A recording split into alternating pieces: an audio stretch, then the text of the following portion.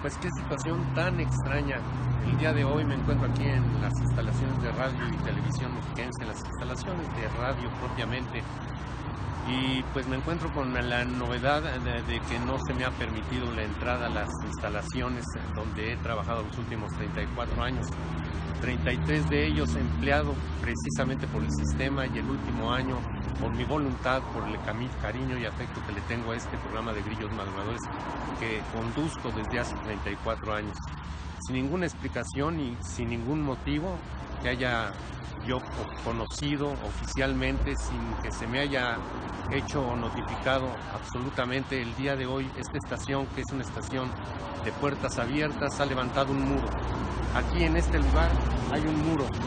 Es un muro que quizás ustedes no lo vean, es un muro invisible, porque es un muro de intolerancia. Es un muro que han levantado con el propósito de impedirme a mí el acceso a estas instalaciones donde siempre he trabajado sin previo aviso. Buenos días, oficial. ¿Cómo está? Pero, ¿qué cree? ¿Qué causa? Que no va a poder entrar. ¿Por qué razón? Este, tenemos instrucciones que no podemos ingresar aquí. ¿Instrucciones de parte de quién? De, bueno, de acá de personal y de aquí del Banco Libre. ¿Y por qué motivo? No sé, es lo que nos dieron. Juan Manuel Corona Ornelas, Grillito Mayor, estamos contigo, sabes que te queremos mucho, monedita de oro para lo que quieras, cuando quieras y a la hora que quieras. Estamos contigo, justicia.